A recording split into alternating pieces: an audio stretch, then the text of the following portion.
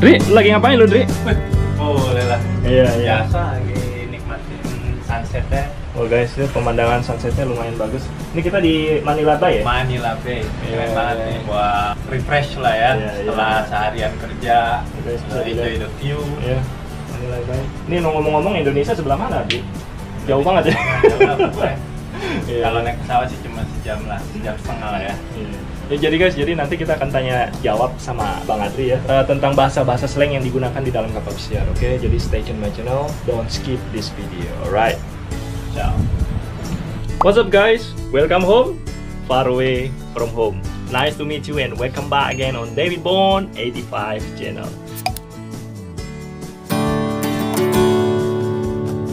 So guys, jadi pertama-tama saya mengucapkan terima kasih buat kalian yang sudah mensupport channel ini dan bagi kalian yang pertama kali visit to my channel, jika kalian suka dengan video ini, the best thing if you want to support this video, subscribe, like atau ingin komen di bawah, tentunya komen yang positif dan membangun.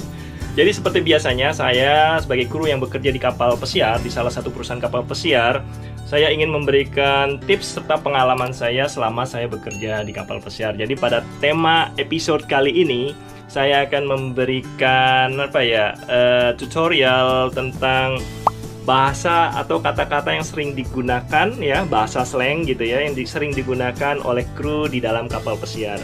Ya hampir seluruh cruise ship mungkin ada kesamaan dan perbedaan ya, tapi secara general mungkin hampir mirip-mirip gitu ya. Jadi ingin tahu bagaimana bahasa slang di kapal pesiar? Don't skip this video and stay tune my channel, oke?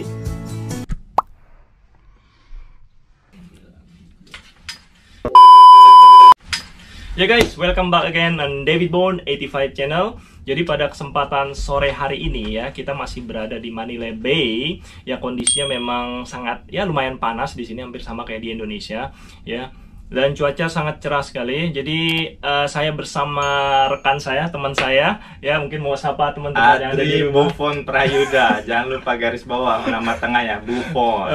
Pentini. Guys, em, kita akan sharing-sharing pengalaman Adri ya selama bekerja di kapal pesiar. Tentunya ada bahasa-bahasa kru di kapal pesiar yang mungkin sebelumnya kita belum pernah dengar ya, Adri ya. Hmm, betul. Ya, nanti kita akan juga kupas di situ dan kita akan tanya jawab kepada Adri ya.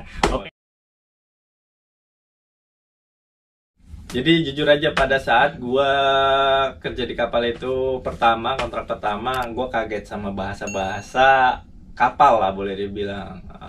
Yang Yang sebelum- mana sebelumnya sebelumnya, belum pernah. belum pernah gua dengar sama sekali, belum Iya, pernah. iya. Jadi contohnya lah misalnya langsung ke contohnya aja ya. Oh ya, boleh, boleh. istilah orang bilang itu putaju. Putaju. Iya, Oh. putaju. Apa tuh artinya? Putaju. Putaju tuh kalau awalnya ya, gue gue ngenilai-nilai sendiri, ngeraba sendiri. Maksud putaju itu lebih ke apa namanya ngasal gitu loh. Oh. Kayak kerjaan lo tuh ngasal. Misalnya, ah lo ngerjain suruh ngerjain ini sama ini, ntar ada ini, ah you're doing putaju, katanya Oh, gitu, gitu, kan. iya. Putaju tuh ya lebih ke ngasal gitu loh. Oh. Berikutnya ada banana, banana, banana.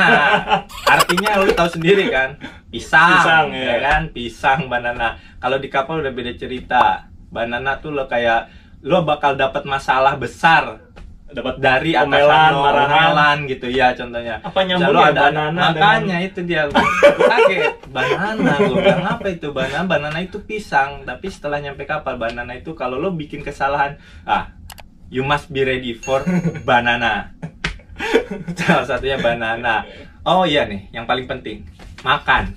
Di Hmm. kapal itu ada istilah manjare. Manjare. sebenarnya makin ke sini gue tau kalau manjare itu lebih ke serapan bah dari bahasa Itali kali ya, Itali ya, manjare gitu kan. Manjare makan gitu. makan Oke. tapi kebanyakan orang di kapal itu bilang let's go manjare oh kalau enggak let's go manja manja gitu kan itu udah artinya makan, ayo makan, ayo makan makan. makan Oh, gitu loh Iya. terus Berikutnya. ada lagi serapan dari bahasa Itali itu capo biasanya Hmm. kalau kita nggak kenal sama satu orang atau kita ngomong ke atasan sendiri biasa kita panggil capo Oh, gitu. kapo. Nggak nggak mesti ke atasan aja sih sebenarnya ke orang yang biasanya nggak belum kita kenal namanya gitu kapo kita kok panggil kapo kapo itu lebih sebenarnya kayak artinya- kawan kayak kawan. kawan. artinya dari serapan bahasa Italia kapo itu kayak bos ya kalau nggak salah ya kapo. kalau nggak Kalau salah cewek kalau nggak salah kapa. Kalau nggak salah. kalau ya. nggak salah ya kapa Oh, iya. yang gua dengar itu selanjutnya ada nih kocak nih Hmm. Podes katanya gitu. gue bilang apaan nih Podes? Podes. Gua sampai sekarang sih ya nilainya gimana ya? Kalau Itu kalau menurut bahasa kasar Tapi ya? jujur aja gua pribadi Podes itu tuh kayak gua nggak tahu eksak apa Artinya artinya, ya, jadi- tuh apa. Podes itu lebih ke kayak ekspresi kali ya. Ekspresi yang mengagetkan, Mengagetkan, gitu misalnya. Ekspresi. Kalau nggak salah ya. Kurang Iya, lebih iya. kayak gitu. Kayak podes. Misalnya kalau kadang-kadang pun podis dipakai sama misalnya nih dia lagi kerja dan gua lewat. Uh, podes. Dari gua dah. Pasti.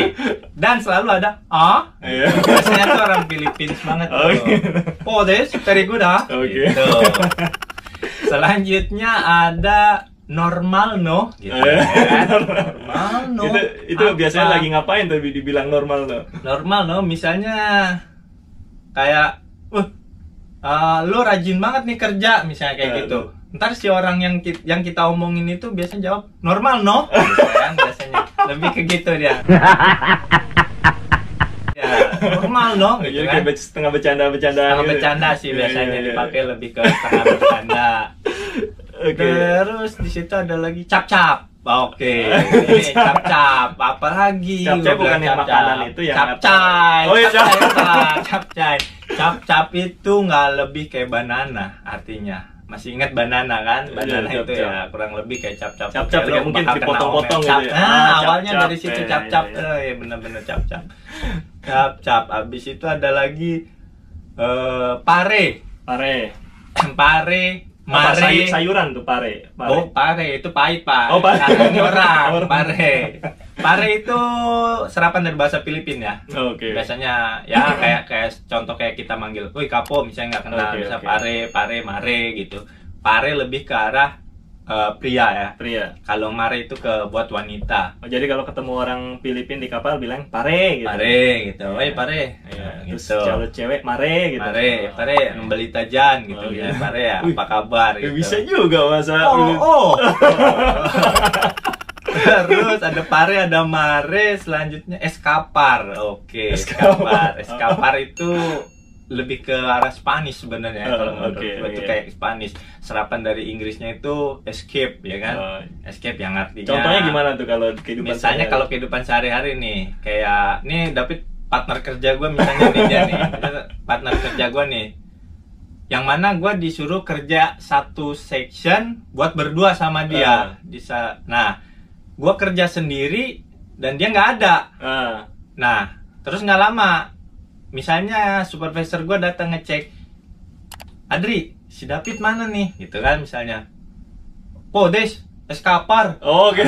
kayak gitu Jadi, kabur kabur Ah, gitu ya? iya Ngumpet gitu ya? Oh, gitu eskapar, kabur, dia ninggalin temen kerjanya Iya, bisa iya, jadi iya, kayak iya. gitulah oke. eskapar lanjut ke bakla bakla apa bakla gue bilang nih bakla ternyata itu bahasa dari Philippines yang Oh. mana artinya bencong Oh, atau bencong, banci oke. gitu kalau bakla Lanjut. Berata oke berata Berata. berata berata itu eh, lebih ke kayak kita kewalahan Hmm. dengan apa yang kita kerjakan lah misalnya ya Con- Contoh di kerjaan gimana kalau Misalnya, yang berata? wah kerjaanku banyak bener super banyak boleh Hmm. dibilang dan gua nggak nggak bisa handle sampai sampai harus selesai pada hari itu juga pada saat itu juga misalnya ataupun kalaupun gua bisa handle lebih ke gue bener-bener capek banget gitu loh apa Hmm. nah berata Oh, berata. Cerit, gue berata nih Oh, gitu. gitu. terlalu banyak banget lah volume Iya, iya, iya. kerjaannya gitu lah. Super super sibuk Super berata. sibuk. Oh, Oke. piano piano oke piano piano piano lo tau piano piano Iya, iya, iya. piano piano apa piano piano ternyata piano piano itu setelah makin ke sini gue tahu artinya piano piano ya lo yang ah lenggang, Relax gitu, relax, santai. santai nggak ada kerjaan Piano, yang piano. mana temen lo yang lain Lagi lagi, sibuk. kerja putis nothing to do ha? Piano piano ha? Terus misalnya. dia bilangnya normal no? terus tar dia jawab lagi tuh normal no? Itu tuh pasti itu udah pasti itu Oke oke. lanjut ada lagi istilah paisano. Oh, oke paisano. paisano. Lawan katanya paisana. Hmm. paisano itu lebih ke teman lelaki kita satu negara Oh satu negara. satu negara. Kalau paisana ya teman wanita kita di satu negara juga. Your paisano, misalnya dia dia nanya gua, you see your paisano? Siapa? Gue bilang, David. Oh, Oke, berarti paisano buat Oh. ke pria. Iya.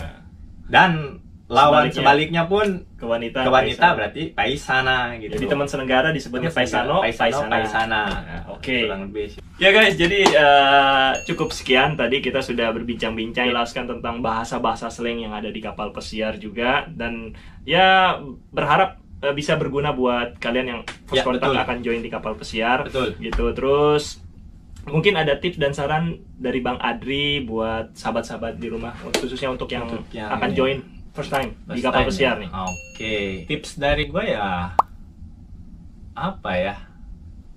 Kalau di bahasa Inggrisnya ya, sebenarnya di bahasa ya, ya bahasa Inggris lo belajar di conversationnya aja sebenarnya. Hmm. Dan apa namanya lo nggak usah terlalu terpaku sama grammar. Nanti Hmm. itu lo bakal improve sendiri. Oke. Asal lo mau belajar. Oke. Dan tips gua yang paling penting itu kalau lo udah di kapal, lo ngerasa bahasa Inggris lo kurang oke lah, Hmm. tapi lo bisa bukan berarti lo total nggak bisa ya.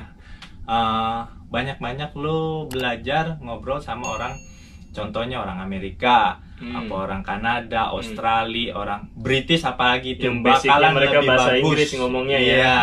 Oke guys, jadi sebelumnya saya mengucapkan banyak terima kasih nih buat Bang Adri yang sudah me- bisa meluangkan waktunya. Sorry nih ganggu Bang Adri ya. Oh. Ya, jadi semoga ini bisa bermanfaat buat kalian yang akan bekerja di kapal pesiar khususnya untuk first contract ya.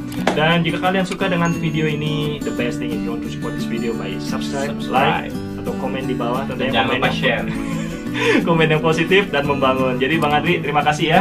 Sip. Sukses selalu Ini ya. atas anak kapal nih Iya.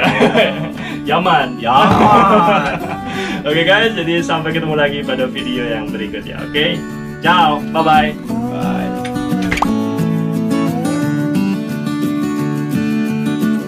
David, no, what happened? Oh, jangan, gue happened gitu kan. Happened gitu kan. What happened gitu kan. What happened gitu kan. Apa namanya? Anjing Oke, jadi di bahasa di kapal itu apa namanya? Gimana Pit? Jadi Jadi gini, apa namanya? Buat semuanya guys yang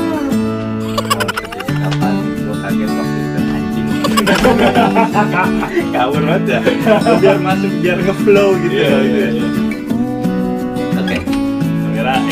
Kang Usup nih, kayak hampir sama Kang Usup juga pernah mau daftar. Oh, iya, Cuman iya. iya, cuman nggak nggak keterima kata ex terlalu ganteng gitu ya. Kamu cuma terlalu gembrong sebenarnya.